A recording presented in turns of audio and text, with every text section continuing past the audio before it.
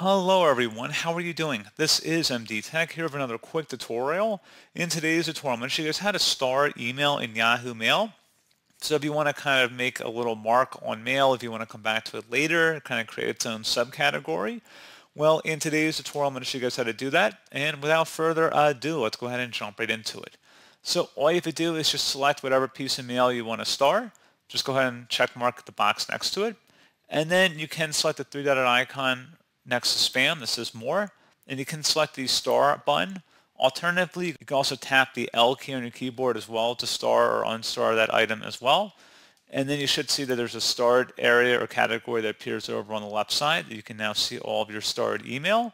You can also search for it in the main inbox here by selecting a little drop down up at the top next to the menu icon.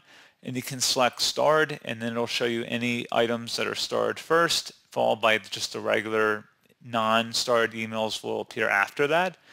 So pretty straightforward. If you want to unstart, just go back into that menu and select the clear star option, which can also be done by selecting the Shift and L key combination on your keyboard as well. So again, pretty straightforward process on that, guys. And as always, thank you for watching this brief tutorial. I do hope I was able to help you out, and I do look forward to catching you all in the next tutorial. Goodbye.